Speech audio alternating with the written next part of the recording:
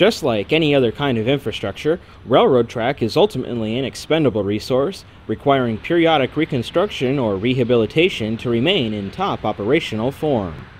While the large steel rails of today's railroads are hardy and can last for decades, over time they are surface worn by passing trains and are subjected to stress and strain which precipitates in the formation of metal fatigue and internal cracking. While rail grinding does extend the life of the rail, eventually it becomes more cost effective to swap it out for new steel. Here in Grand Rapids, Michigan, CSX has elected to replace the high side rail through the curve here at Seymour. Curve rail is typically replaced much more frequently than straight rail due to increased wear on the railhead from the wheel flanges and lateral loading not typically seen on the straightaways. As we arrived this morning, the CSX crew was just beginning to unload their equipment from the specially designed train it arrived on. A foldable ramp on the last car allows the equipment to roll directly off the train and onto the track, so they'll be getting to work shortly.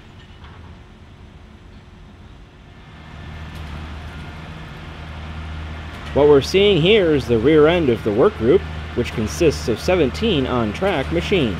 They roll east past the starting point of today's work from which they'll progress back west by our location. In turn, we will see the entire process from start to finish, from the original worn out track to the finished product.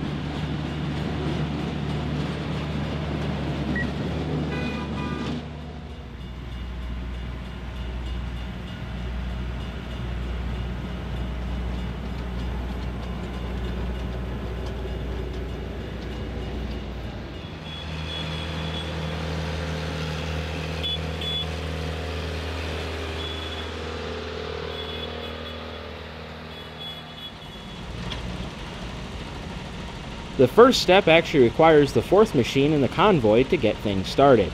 Because the rail unloading crew only dropped rail on the east side of the crossing, the piece from the west side must be moved into position. For this, the first excavator grabs on and drags the new ribbon of rail right over the crossing, with the guys on the ground protecting the roadway for this unusual movement.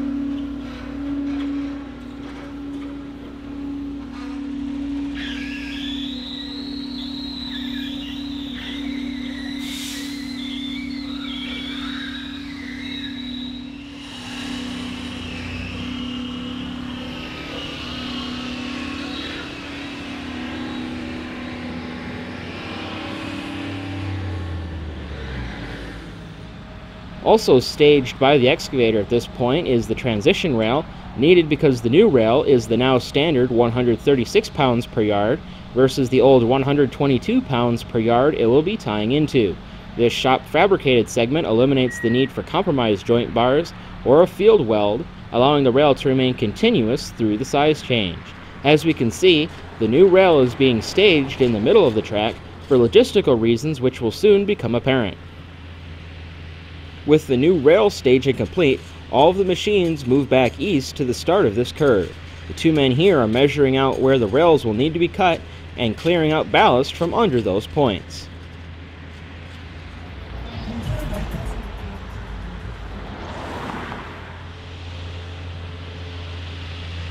The first machine in line is a large rail saw fabricated by Sperling Railway Services. Its primary mission is to cut both the old and new rails where needed with speed and efficiency using a hydraulically powered blade. The operator simply lines up the saw, which is then clamped to the rail, and then positions a spark shield before activating the blade. The shield not only protects any nearby workers, but also greatly reduces the risk of starting any brush fires.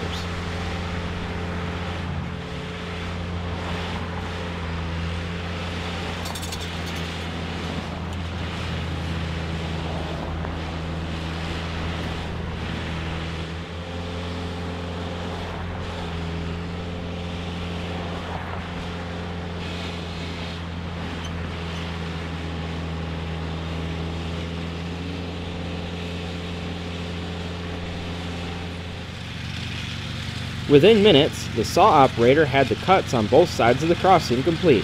Following immediately behind is a web grinder, which cleans the surface of the rail web for the eventual needs of the flash butt welding process, which we'll discuss more about when the time comes.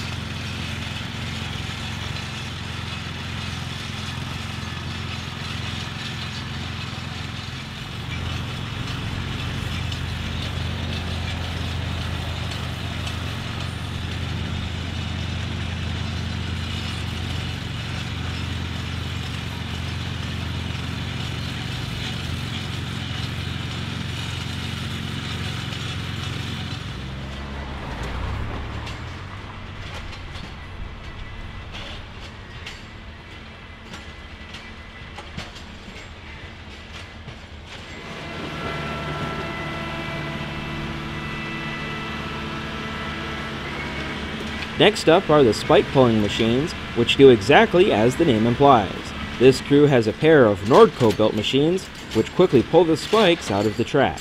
Typically, if the rail is being replaced with new material of the same size, only the spikes which hold the rail in place will be removed. However, with the new railway upgrade on this project, new tie plates will also be installed, so the hold down spikes are also coming out.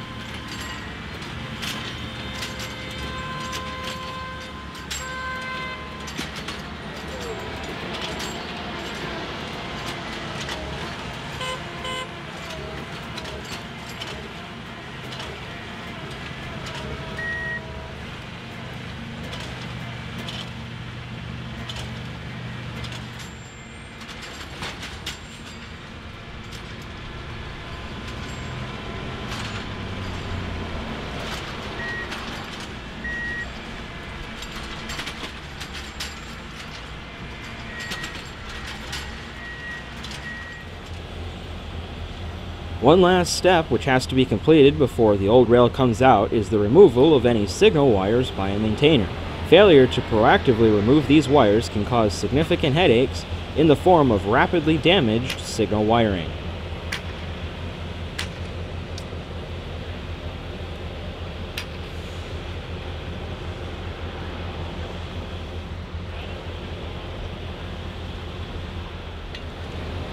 Finally, it is time to remove the old steel. In order to make way for the excavator's threading attachment, the first few feet need to be stripped of their anchors with a sledgehammer.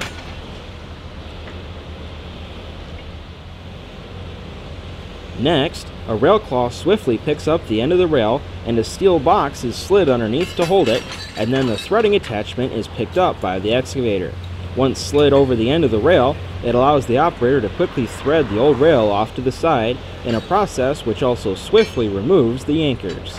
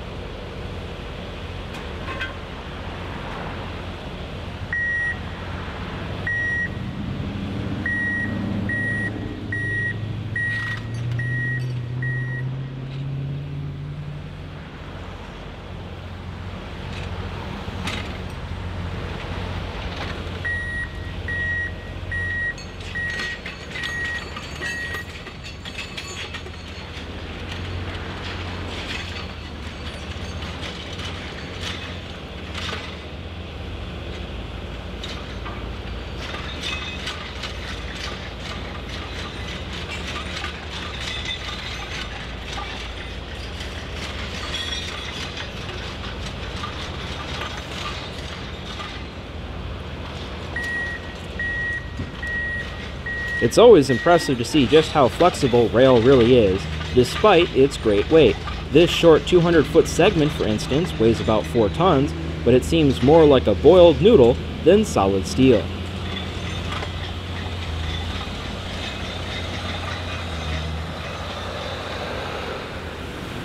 The next few machines feature crawler tracks since they obviously cannot rely on both rails being present. The first of these is a Sperling Rail Scrap Retriever, which features a magnetic conveyor belt used to pick up the old spikes, tie plates, and anchors. Uniquely, this machine features a remote control, allowing the operator to walk with the machine and toss any items missed by the belt.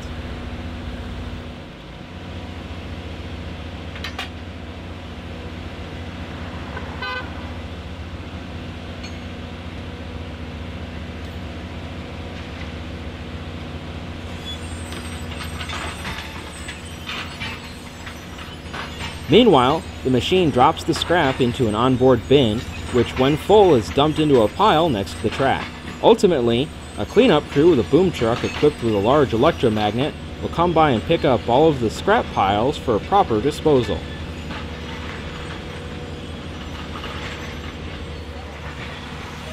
The next machine is a Sperling tie plugger, which is definitely the messiest machine in the group.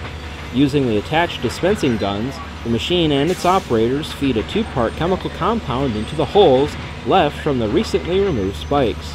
The compound quickly hardens and effectively plugs the old holes, allowing new spikes to be driven in their place. Without the compound, new spikes in the old holes would be useless at holding down the new rail.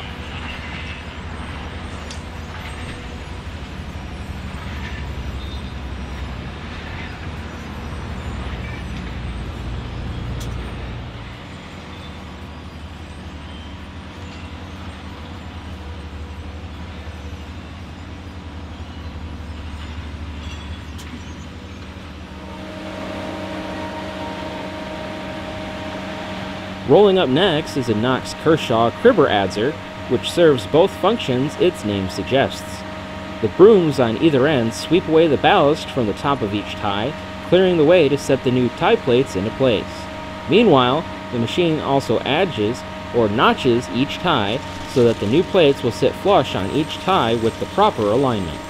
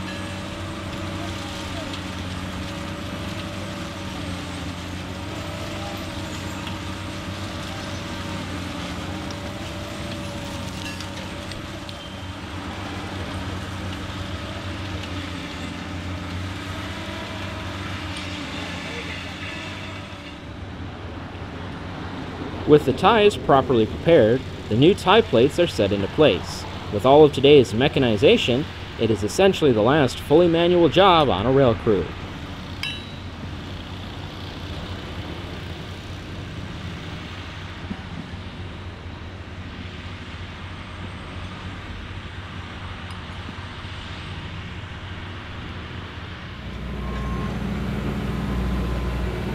With the tie plates installed, it's time to thread in the new rail. One trick of the trade is to place a spike in the first hole, allowing the operator to quickly line up the end of the new rail.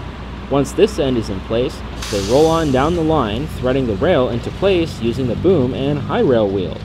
The operator must be careful, however, to try and keep the track gauge, or else the machine will fall off the rail onto the ground with a nice thud.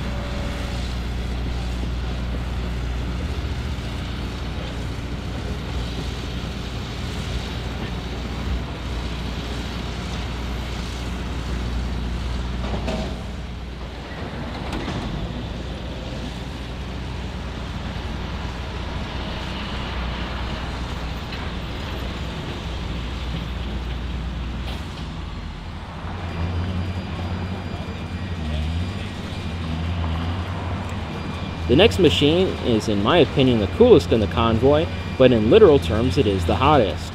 With a beastie looking back end, this Progress Rail in-track welding truck makes quick work of fusing rails together with the power of flash butt welding. While newer machines are capable of doing all the lineup work automatically, this machine still requires the crew to properly align the rail heads with hand jacks. A sleeve is then inserted over the gap, and the welding apparatus is lowered on and clamps onto each rail.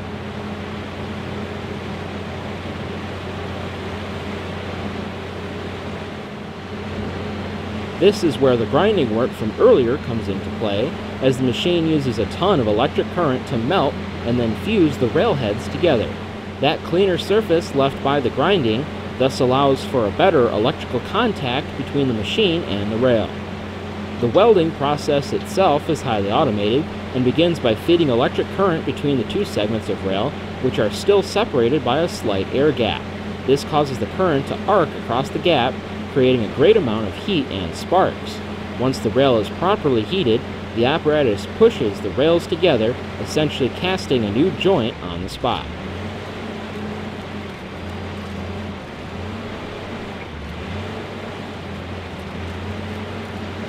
This process offers significant advantages over traditional thermite welding, which adds new material in order to make the weld. This new material does not match the metallurgy of the rails themselves, and thus forms a potential weak point and a spot which tends to wear differently from the rail itself.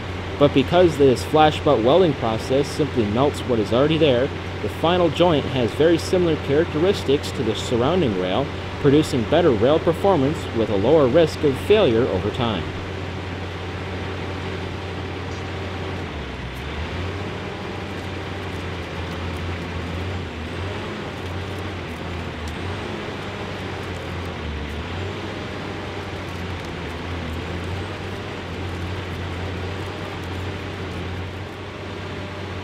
When the apparatus has signaled that it is finished with the process, it lifts away to reveal the fresh weld, which is still insanely hot and will remain so for some time.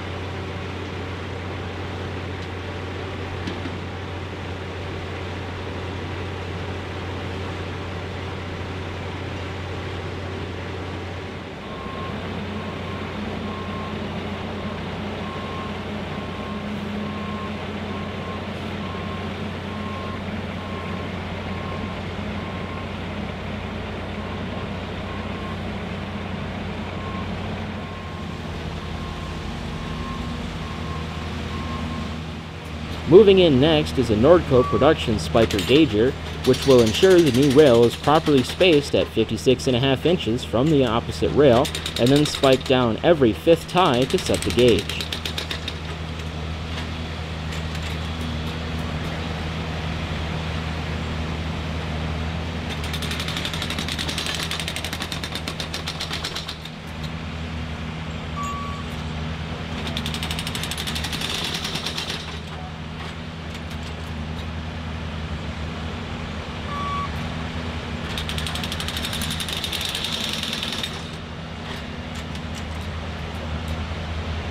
Behind the machine, the gauge is checked with a trusty tape measure just to ensure the machine is setting the gauge correctly.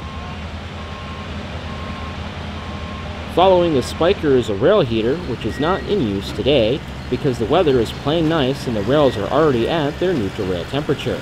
At this temperature, around 90 degrees in this area, the rail is neither in tension nor compression due to thermal expansion or contraction and is thus the standard temperature at which the rails should be when they are laid down and tied in with the existing rail. To expand upon this point, if the neutral rail temperature is too low, Warm weather will create the risk of track kinks due to overloading the rail with compression force due to thermal expansion. Conversely, if the neutral rail temperature is too high in cold weather, excessive tension forces can cause the rail to snap. Thus, given an area's climate, a suitable temperature to balance the seasonal thermal loads is chosen and all rail is laid at or in reference to that temperature. This may then require that the rail be heated, but as mentioned, on this day, the rail was already at its happy point. Working between machines, the signal maintainer gets back to reinstalling any necessary signal wiring. In this case, because the in-track welder wasn't able to reach this close to the crossing, a new bond wire must be installed to bridge over the new, temporary mechanical joint. The bond wire will ensure good electrical continuity between the rails until such time that the local track forces eliminate the joint with a traditional thermite weld.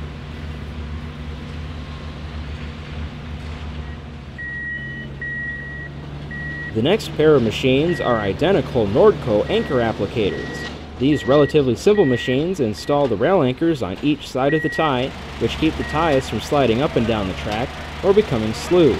This also helps to reduce longitudinal movement of the rail itself, which aids in controlling the thermal expansion and contraction dynamics on this continuously welded rail.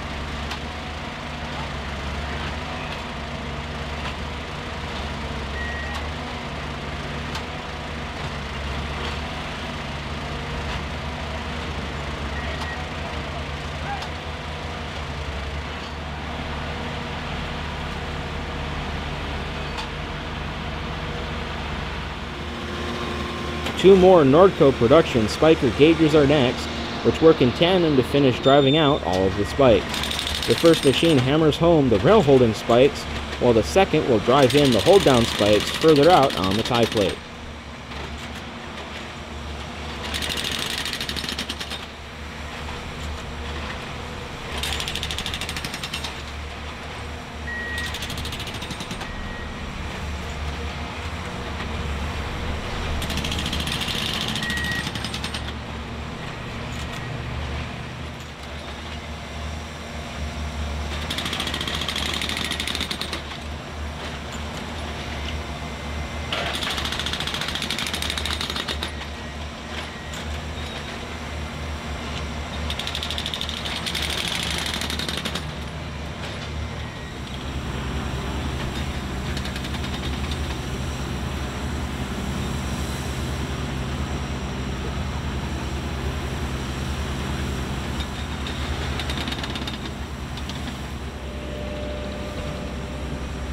With the track now physically complete again, the last machine in the work group arrives, which is a Nordco rail anchor cart. However, on Railgang, CSX uses it as a platform to power hydraulic grinding tools used to finish off the rail welds.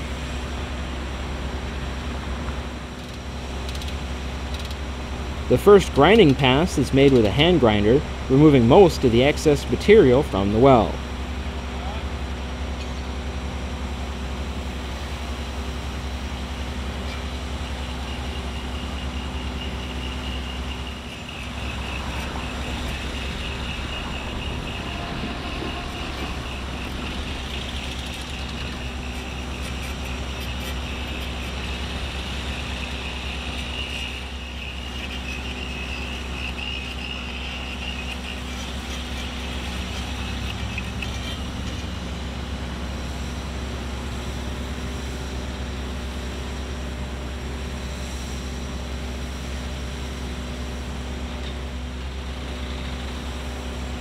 Next, the hydraulic quick disconnect hoses are moved over to this contraption, which grinds the railhead smooth over the weld. It is critical that this step be done to satisfaction to prevent excess wear or corrugation resulting from a rough weld.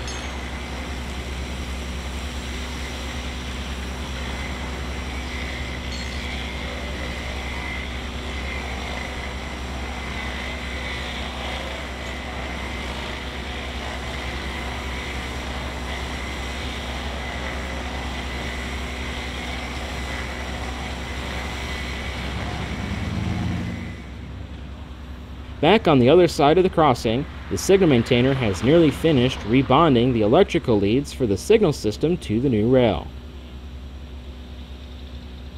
And with that, the work of a railroad rail replacement gang is complete. In a series of choreographed steps, the crew efficiently removed the old worn rail and replaced it with fresh steel. Using a variety of specialized machines, the work is rather straightforward and certainly much easier than the manual labor of days gone by. Special thanks to this crew for graciously allowing me to film their work and be good sports about it. It isn't always easy working in front of an unknown camera lens, but I think this process is so neat and worth sharing with others. I hope that after watching this video you have come to appreciate the process and honest work these guys do to keep trains rolling. Thanks for watching this edition of the Thornapple River Rail Series. Don't forget to leave a like and subscribe if you enjoyed this video, and leave any questions down in the comments below.